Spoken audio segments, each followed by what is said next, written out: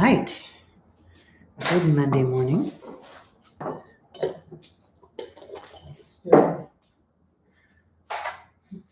Alrighty this morning.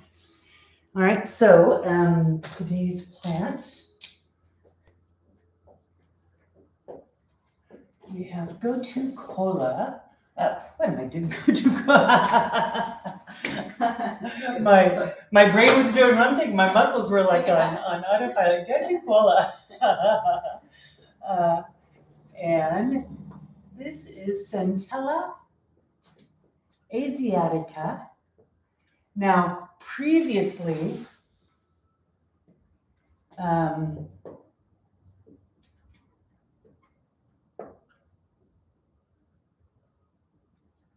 um, so um, previously was in the Hydrocotyle genus, but it is now in the Centella uh, genus. So uh, Centella asiatica, and it is in the Apiaceae family. And so this is the uh, this is the parsley family, the carrot family.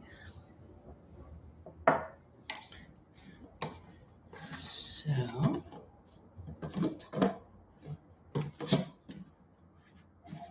and we have it growing right out here, so I can show you after class. It is a it's a um, it's a great plant to grow if you it, Come on. There we go. Um, you need to give it the right environment. And it's hard to give it the right environment in Southern California um, because it's so hot and dry. And it likes hot and damp. And we don't do damp around here really well we do in the winter, and so it grows nicely in the winter, but it likes that combination. And again, if you think of where it comes from, this is a plant uh, from India. So this is a, a plant of the um, Ayurvedic tradition. So this is a one of the premier plants of the Ayurvedic tradition. Um, and so I'll be sharing, you know, information about it um, in using Ayurvedic terminology and concepts, but I want to be like super clear about the fact that I'm not trained uh, as an Ayurvedic practitioner. Um, and I'm trained as a Western practitioner, and I know a little tiny bit about Ayurvedic medicine. So, um, for specific information about Ayurvedic purposes, it probably would be better to go to a, an Ayurvedic practitioner for that information. So I'm speaking about it largely as a Western herbalist. So just for transparency and clarity there. So we have our tea of Gotu-kola, and so it's a lovely kind of golden color. Generally, when we have um, green plants, so this is Gotu-kola, this is the fresh plant. Um, when we have green plants, even if we have fresh plants, oftentimes the the tea itself won't be as deeply green as the plant. Um, sometimes when you have very, very, very fresh plant material, but in dry plant material, it often turns out more like a deep golden color or brown color because chlorophyll is poorly soluble in water. Uh, so you don't get that, that, rush of green. You get that in alcohol, you get that in, in other but so this is a lovely uh, shade for it. If we breathe it in, what do you breathe? What do you smell?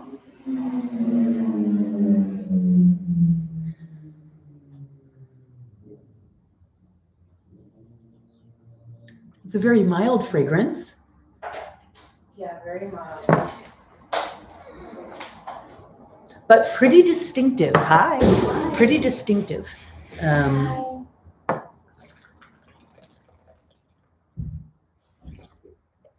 There you go. It's also quite hot, sweetie. Here. Get you one of the comfy chairs.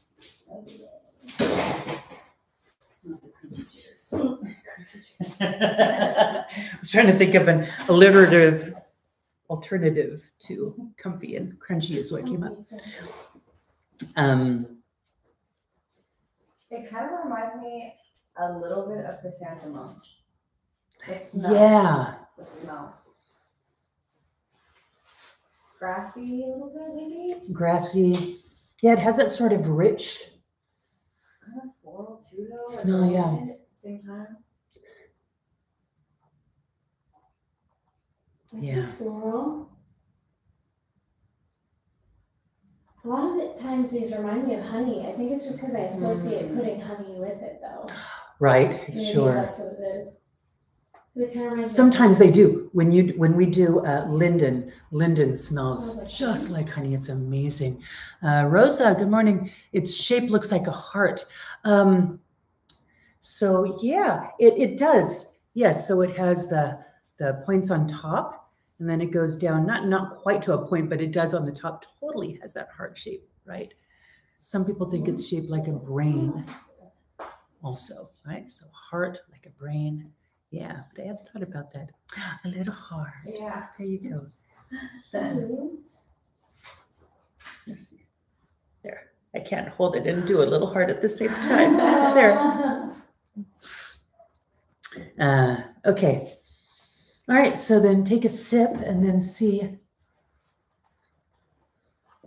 what is similar, what is different from what we smell versus what we taste. That's got a really mild flavor. Mhm. I feel like it's kind of like smooth, but not not super pungent. A mild flavor, smooth, not too pungent. Yeah. On that spectrum, sometimes is a helpful kind of concept, right? We have a spectrum that plants hang out in, and on one end, there's like foods. They're just nourishing their foods. And so we would put herbs like oat straw there, right? It's just nourishing and good for you. And on the other side, we have poisons, right? So we would put like um, um, the the alkaloids from deadly nightshade over there, right? So total poison, total food. And so our medicinal plants kind of exist along that spectrum somewhere. And sometimes they're like super nourishing. That's why we take them. And sometimes they're very strong medicine. And so it's kind of helpful sometimes to think about how it feels to our body, how it tastes, where does it land on that spectrum. That also tells us a lot about dosing strategies, right? Uh, whether it's good to take it long term versus short term, right? If we, um, medicines are not made, medicines don't nourish us. They might um, heal us, Mm. but they generally don't provide that long term nourishing effect. So, where does this feel then if you think about that spectrum?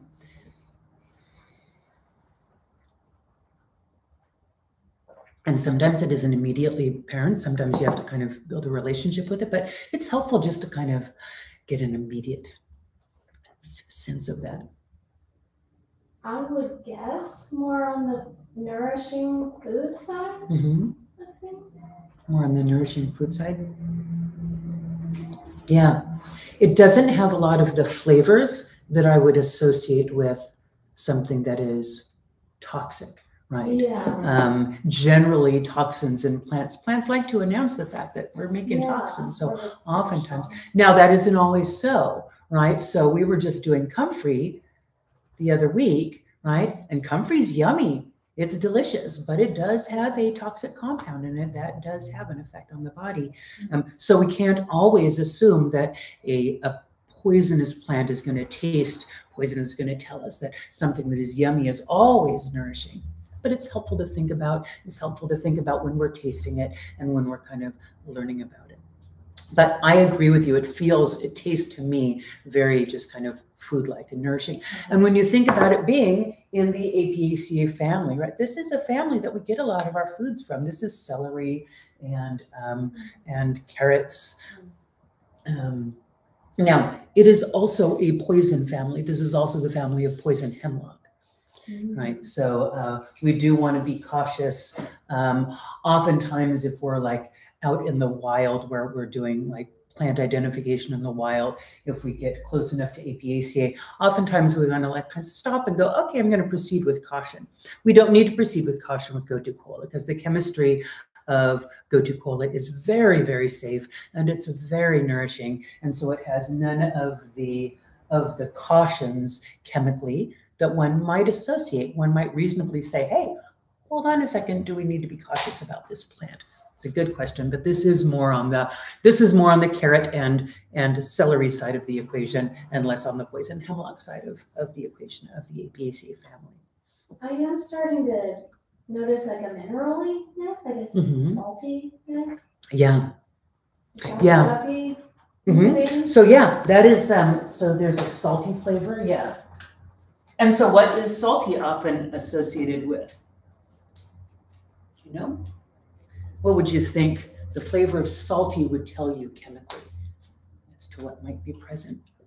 Minerals. Yeah, minerals, exactly, yes. And we don't think of salty in plants as salty as I'm opening a salt and putting it on my tongues, right? That is, again, on that, that spectrum of, of, of concentration. That's pure salt is what we think of when we think of salty in dominant culture because because our foods are so skewed.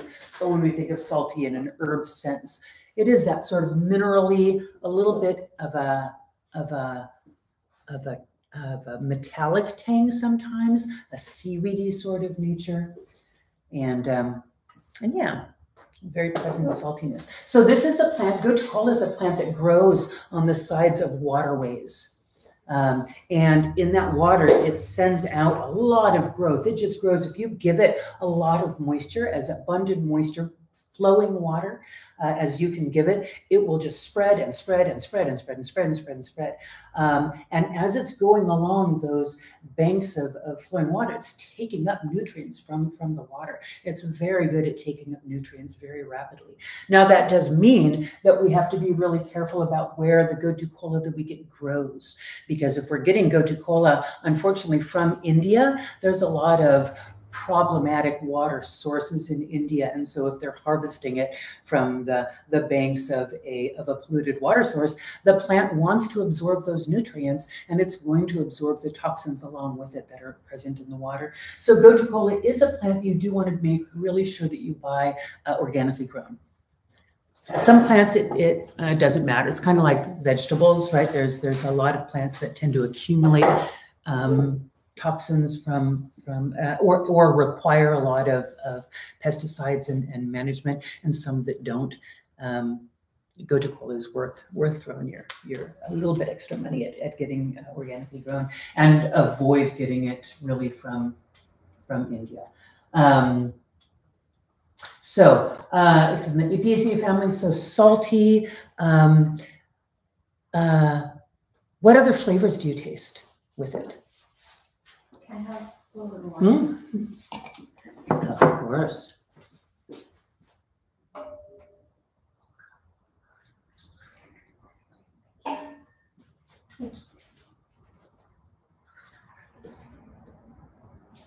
I'm getting like rocks, but I feel like that's the minerals. Rocks. Yeah. Yeah.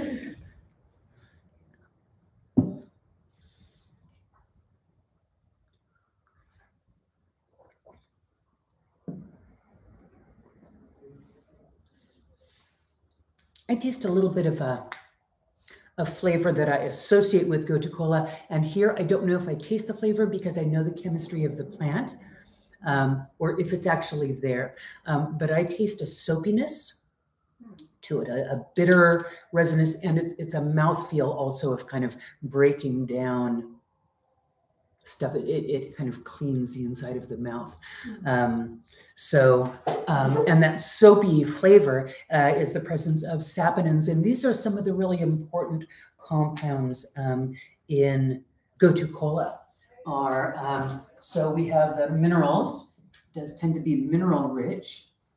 Um, and um, uh,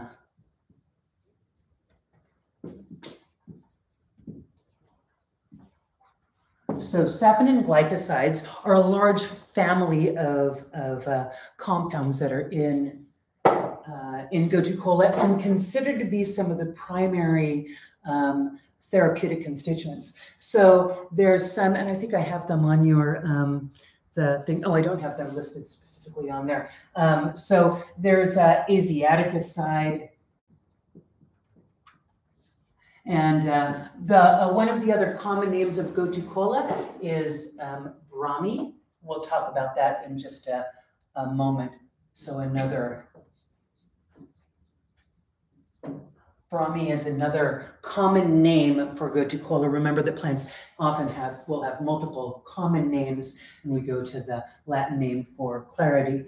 Um, and here, definitely, we we do that. So um, so asiaticoside, Brahmi is another common name, and um, uh, there are Brahmin uh, osides I think it's Brahminosides. Um, uh, uh, so you can see how they pull the common uh, the the names of the chemicals from the names of the plant. That's often how I will remember the names of the chemicals. Is you can just look and and and get a, a clue from the uh, from the common or the Latin names. So those glycosides are responsible for a lot of the therapeutic effects of gotu kola. So, um, and the, the presence of minerals and the presence of phenolic compounds, flavonoids.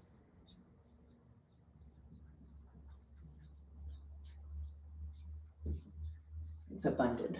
So if we put all of that together, we can look at why we use gotu kola. So why we use gotu kola, let's go back to its, its um, being named after Brahmi. So Brahmi is a, uh, a Hindu deity, and uh, he is said to be uh, one of the the deities associated with creation. It's said that Brahmi thought creation into being. So he um, he is associated largely with um, with learning, with thought, with um, with intelligence, with with things having to do with the uh, the central nervous system in the brain. Hence the common name. I was gonna say when I drank it, I almost immediately felt uh, more grounded. Uh-huh. I was like, oh. Yeah, yeah. We didn't go through the the, the energetics, did we? Um, Yeah, what I felt. yeah, I know. It it very much is a is a, a stimulant, a mental stimulant for me, and also has that that grounding quality. And again, I think a lot of plants that have that kind of nourishing flavor and taste and feel give us that grounding Yeah. feel, right? It's like, a, yes, we're giving your body exactly what it needs. We're, we're giving you stability. And in this plant, it's stability of, of, of mental function, right? Gotu kola is used to enhance clarity and learning. There are uncountable um, uh, clinical studies and stories and and tradi- uh, um, evidence of traditional usage of gotu kola being used for enhancement of brain function, for mental clarity and focus, for um, protection of the brain, and for reversing damage to the brain. Now, it is known as so it is known as Brahmi, but its full name is, um, or a more accurate name, is lesser. So it's lesser Brahmi. Mhm. Because there is another plant which is called greater Brahmi. And that is a plant called Bacopa.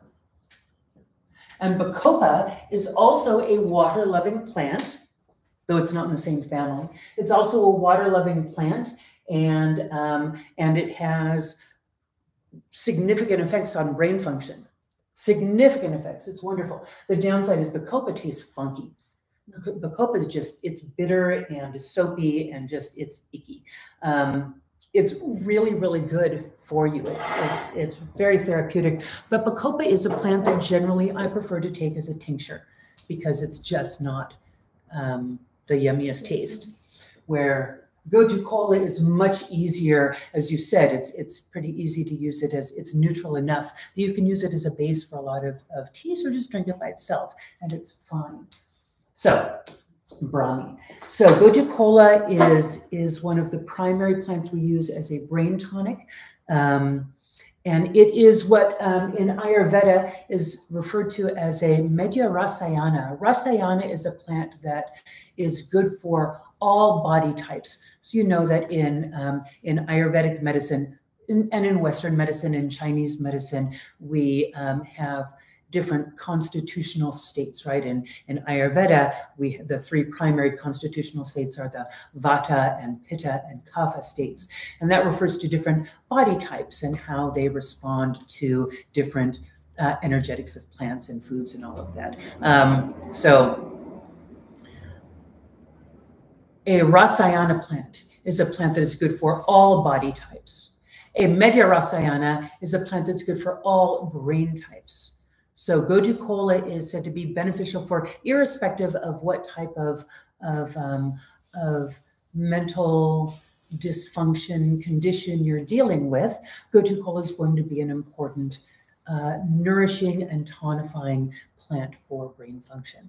And it does have a, a, a relatively immediate kind of grounding and soothing um, effect and, and that clarity. Well, it's also very calming and relaxing. So uh, one of the cool um, studies that they've done on Gotu Kola is in healthy adults that they gave Gotu Kola to, it decreases startle response.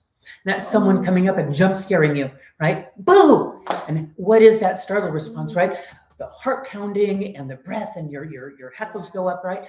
All of that is the stress response. That is a very good indicator of where you are in that in that adaptation, right? In that that adaptation to stress level. If you are very non-resilient and you have very little adaptation to stress, or if you're pretty good and you've got some some good resilience, um, this is one of the effects of Gotu kola as an adaptogen. So we do use Gotu kola as, as an adaptogen. And it is one of the few adaptogens that you see that is a leaf and not more of a dense root, which makes it a lot easier to formulate with if you're making teas, right? So in uh, if you're making teas and you want adaptogens, the two primary ones that I use are Gotu kola and Tulsi, both from the Ayurvedic uh, tradition.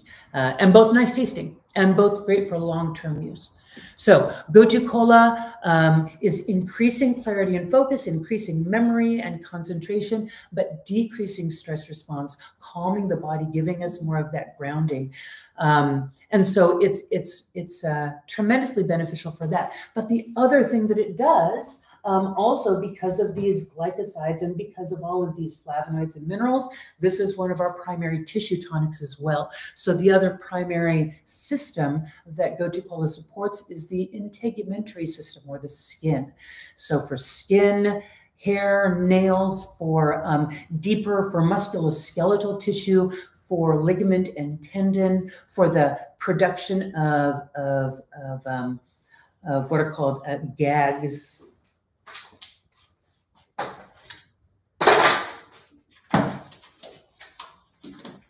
gags. So structural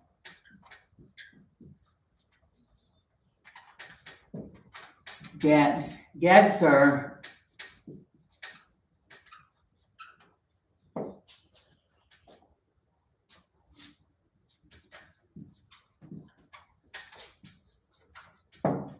glycosaminoglycosides, right? So gags is much easier to remember. Um, but these are, um, these glycosides improve the production of the glycosides that we have in our body. And these are things like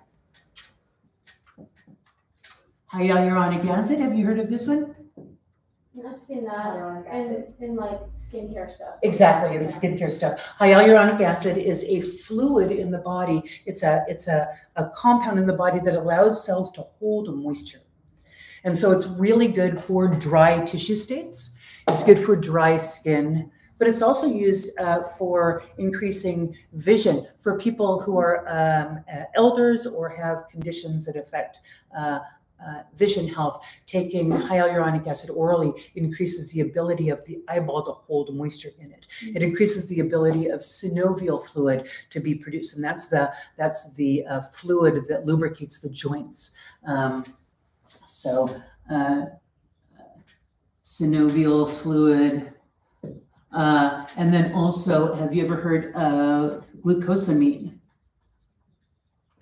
Glucosamine is a compound that you become more familiar with as you get older, or if you have old dogs.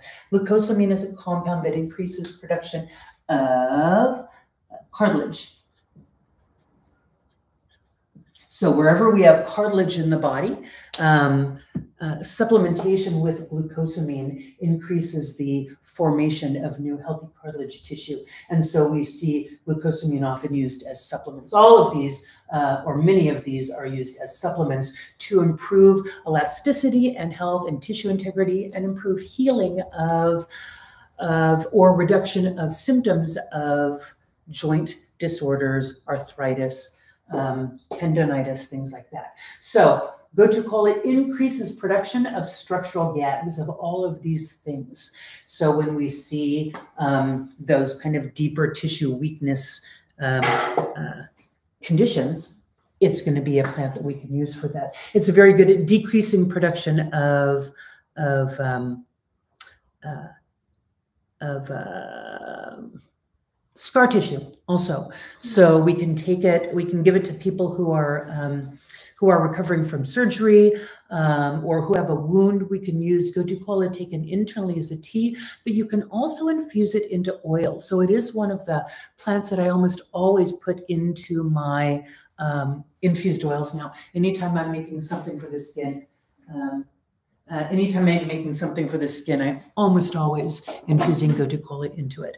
Um, so, in fact, um, and in Ayurvedic medicine, kola is often infused into ghee. So, ghee is a clarified butter. If you don't use butter, you can use another oil for this. Sesame oil is often used.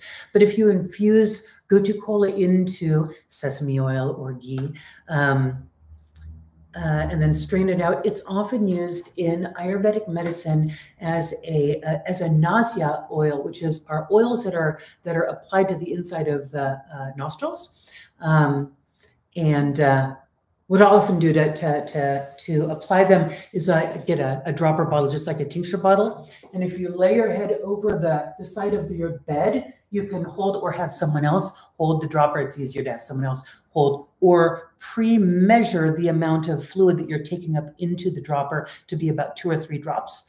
Right, lay your head over and then squeeze the oil into your sinuses and then sniff really, really um, uh, hard and uh, and then you can kind of distribute it there. It is one of the best things for very dry, delicate, irritated, reactive uh, nasal mucosa, but it is also one of the ways that they use gotu kola for brain function. And they say that taking the gotu kola that way is able to get it kind of more directly into brain function and activity. Mm-hmm. And so it's used um, just for mental clarity in the nasya treatment, as well as taking it as a tea or taking it as an infused oil. The nice thing, uh, or taking it as a, a tincture. So you can use it as a tincture, you can use it as a, as a nasya oil treatment, you can use it as a tea. Um, you can um, drink it. Oh, I should have. When you're saying nausea, Oh, yes, you're I'm not- sorry. It's not nausea, right? No, it It's isn't. not- It's nasal. It's, At first, I thought you were Yeah. saying not like Yeah, it's good for nausea. yeah, no, I should, thank you. There you go. N A S Y A. Nasya is a, is a treatment protocol. Um, in class the other day, because this is one of the uh, this is one of the plants for my apprenticeship uh, this month. Um, uh, Sherry, one of my students brought in a bottle of um, of pennywort drink, which is gotu kola. That's one of the other common names. Pennywort. So the suffix wort is uh, uh, just means plant. Anytime you see wort, it just means plant. And um, penny, because also along with looking like a heart or looking like a brain, it's round. And so looking quickly, you could say, yeah, it sort of looks like a, a penny, sort of. Um, uh, Oh, thank you, Rosa. Oh, I'm glad you're enjoying yourself. Yeah, we all start into this at different levels of learning, and you just you get whatever you um, what you can from the um, from the class. I'm glad you enjoyed it. Thanks. Um, let's see. So for um, so for skin support, so infused into an oil, taken as a nasya treatment, uh, as a tincture, as a tea. It's a plant that applies itself uh, widely. Or using, if you see it, if you go into a uh, um, uh, like an Indian um, uh, grocery store, they will often have the pennywort juice. It's a sweetened gotu kola drink, and you drink it as a as a fresh little refreshing tea uh, juice, not a tea, like a juice. So um, uh, da, da, da, let's see. Any questions about any of that? Yes. Yes. When you are talking with the nausea treatment, Uh-huh. um, is that the gotu kola infused in oil Yes. Or ghee? Or ghee. Okay. Yes. Mm. Yeah. So you can infuse it. If you infuse it in ghee, of course, you need to warm the ghee up to make it a, a liquid. Uh-huh. Um, um, but uh, but yeah, it, it melts. If you just put it in your hand, it'll just melt so quickly. Uh, and then you can just pull up a, a few drops in the in a dropper and then Oh, apply it the uh, of the oil. of the So if you make a ghee infused um, gotu kola in ghee, um, the Mhm. ghee is solid right, at room temperature. So you oh. take a little bit out and put it in the palm of your hand, and the mm-hmm. warmth of your hand will will liquefy it. Because otherwise, you can like put a chunk into your nose.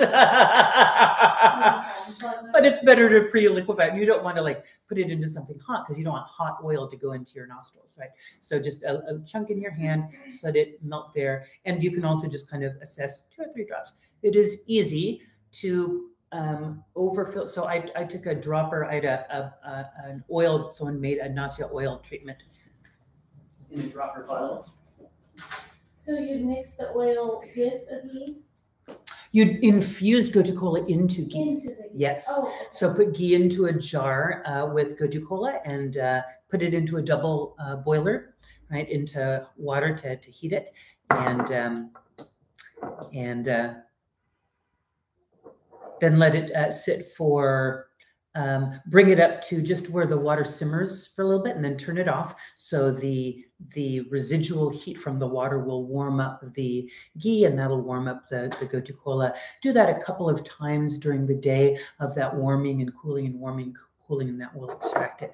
Um, there are traditional ways of that uh, Ayurvedic infused oils are made that are dramatically different than that and are worth um, looking at if you're really, really into making oils and you want to make infused ones just like um, Ayurveda. We actually have time. Um, it's actually really fascinating.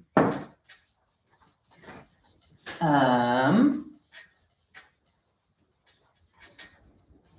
so when you make an infused oil of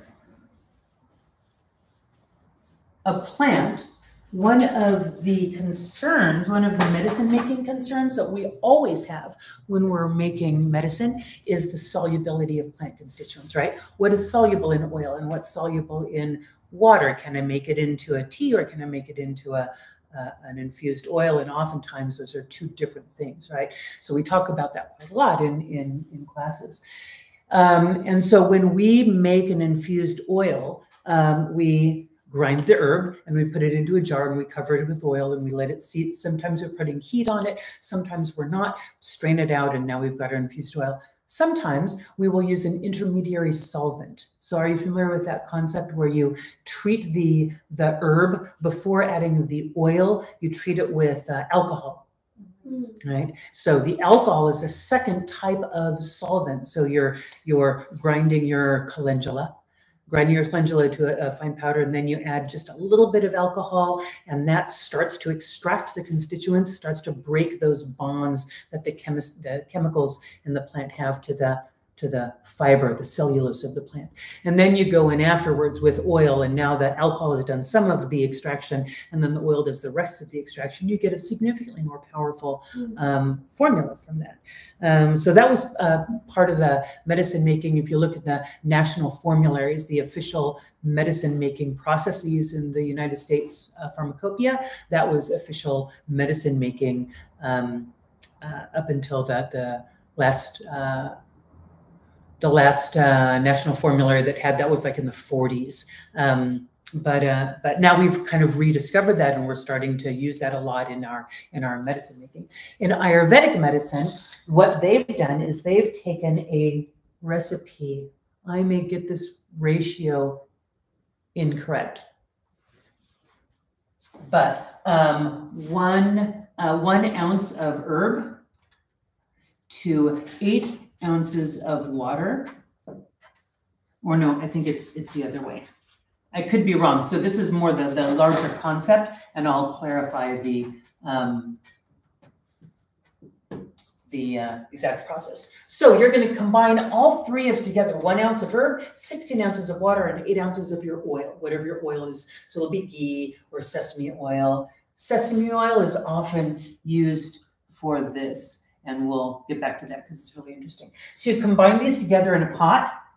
So you have your herbs, and then you have your oil, and then you have your water. But of course, oil and water don't mix together, right? So, but you have it uh, uh, simmering so you have it over heat, and so it's simmering, uh, and it's reducing. As it's simmering, you have the top off, and as it's simmering, what's what is going away as it's simmering? The water? The water. That's right. So with all of these together mixed into the pot, the herb is exposed to water and the water is being a solvent because it's hot water in a plant. Of course, it's going to make a tea uh, and it's moving around in the pot. So you're getting all of that extraction of the, of the plant in the water. Um, but you're also getting the oil extraction because oil is also a solvent and it's in the same pot. So we're getting oil extraction of the oil soluble constituents and we're getting water extraction of the water soluble constituents, the two primary different categories of chemicals in plants. But as you're simmering it and you're losing water through re reduction, the volume is going to go down and it's going to keep going down and it keeps going down and you have it continue down until you're left with a total of eight ounces of fluid. And when you're left with eight ounces of fluid that's all oil because that's what you started with.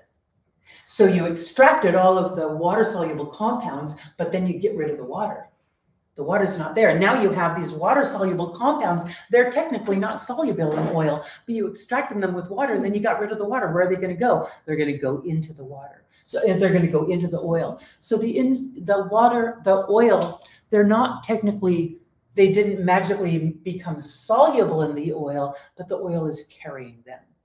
Mm-hmm. Right? The oil is carrying them because they were extracted and there's nowhere else to go.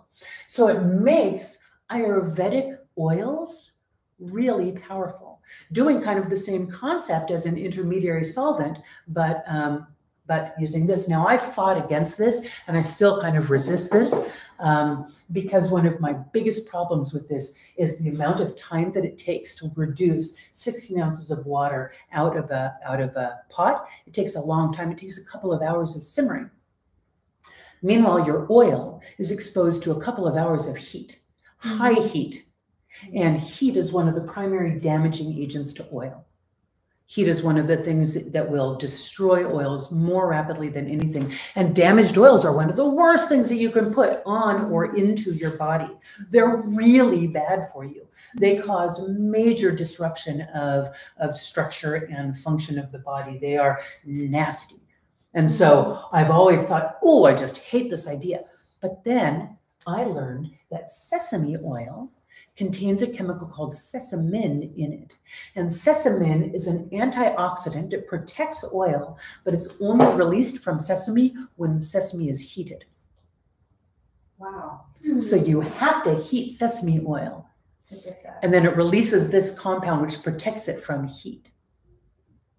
Hmm. Wait. Right? Can we just cook with sesame oil too? Oh yeah, yeah, you can. It has a distinctive. It does. I mean, it's not like toasted sesame oil. It's not Yeah. that strong, but it's pretty strong. I was gonna ask, is that why you get toasted sesame oil so that it, it's already been heated up? No, because you get toasted because it has that delicious flavor, Yes. that gorgeous taste. But that gorgeous taste is not something you'd want to like Everything. have on you all the time. You wouldn't want us to be smelling like toasted sesame seed oil. So you always want to get an unrefined uh, sesame oil. Have it raw. You want it to be activated when you heat it up, not not beforehand. But uh, but this is one of the reasons why sesame oil is used. And then ghee is extremely stable. It's a saturated fat. It's extremely stable. I would not trust this process in an oil that comes from more temperate climates. You would never do this with like, oh my God, with say rosehip seed oil, right? someone might think, what a great idea. I'm going to make this precious oil of gotu kola infused in rosehip seed oil. It's a great idea. But rosehip seed oil, the chemistry of rosehip seed oil, the fatty acids in there would be completely damaged from this process. You have to be very, very careful what oils you choose. Sesame, ghee, mm, they would be great, great, great. But isn't that a cool process? I love Yeah, that. that's really cool. Um, and then one other thing to remember when we're looking at the effects of gotu kola on on tissue support is we want to remember that the gastrointestinal tract is also skin. It's epithelial tissue on the inside of our body, like skin is epithelial tissue on the outside of our body, and anything that stimulates healing of tissue stimulates healing of tissue. So kola is a plant that we can also automatically think of whenever we're thinking of anything for uh, for reflux, esophageal irritation, ulcers, diverticulitis, um, colitis, IBS, any kind of irritation of the whole gastrointestinal tract.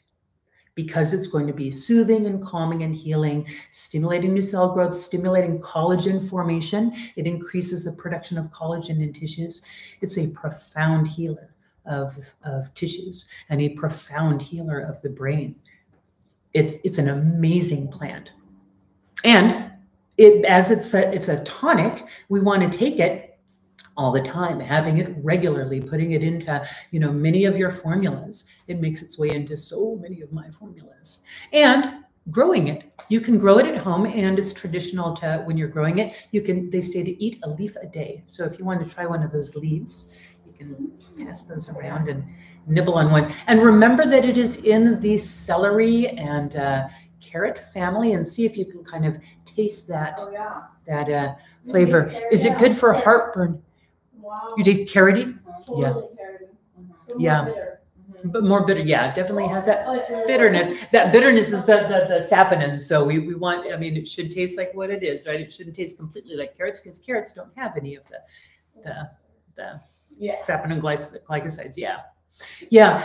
Um, so is it good for heartburn? It would be great for heartburn. Uh, It, would be great for heartburn in that it would help to soothe the esophageal irritation, right? It's not going to change the digestive function.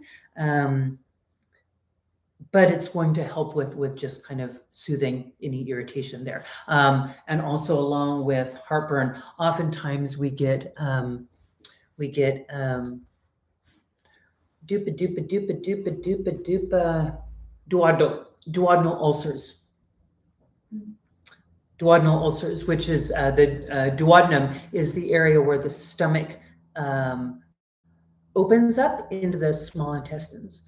Uh, uh, uh, so right at that point, um, if there's dysregulation of the of the digestive system, um, sometimes you have what's supposed to happen is the the mass of acidified food um, goes from the stomach down into the small intestine, and immediately the pancreas um, squirts out basically baking soda. It's it's um, sodium bicarbonate. So to neutralize acid, right? Because it's alkaline and neutralizes acid. Um, so it's going to neutralize all of that acid really, really quickly. Um, and if your system isn't kind of working up to, to snuff, if, this, if it isn't if it isn't secreting the right types of digestive juices, then it may be that the pancreas isn't secreting enough pancreatic juices then. And so sometimes along with the the pain of, of heartburn, you also might notice some some pain um, in the duodenum, which might be um, some duodenal irritation, possibly leading to a duodenal ulcer because of that disruption. So um, bitter herbs are really good for this. And this does have some bitterness to it, right? So um, we remember that the bitter flavor of plants gives us the action of bitters. It doesn't, it's not associated with a single plant or a single chemical. It's just the flavor of bitter going over our taste buds. This is bitter. Eating those leaves fresh is, is, is really, really bitter. So that could be, I mean, that could be your like digestive bitter and also your brain function support and your skin support and all of that is eating a leaf a day or eating a leaf right before your meals and having that bitter flavor activate there. So absolutely. Long um, response to, is it good for heartburn? Yeah, it's very good for heart- heartburn and other um, associated things. Uh, let's see. Um, so, um, do, do some clinical studies improve improve working memory and mood in elders who take it daily better memory and overall mental ability in children with um, with uh, mental impairment and reducing the startle response. Um, decreased corticosteroid levels. Um, so we see that people who have um, dysregulated um, uh, corticosteroid production from the adrenals they're not producing the um, the stress hormones at the correct times in the body, and they're too high kind of later on in the morning. It's supposed to have a early morning spike and then it goes down later on. But when we're dealing with a lot of stress and a lot of dysregulated stress response, we get those later on. We get them at night time. We get it all over the time when they're not supposed to happen. And so we see an immediate um, decrease in corticosteroid production um, using uh, Gotu-Kola, again, kind of speaking to its effects on stress. So, fabulous, fabulous plant. I love Gotu-Kola any way you use it. Um, if you are going home from here, uh, I can give you a cutting of this and you can put it into uh, into uh, soil and propagate it. I would do it. So if you want to That would be fun. do that, we will we will do that. All right. So um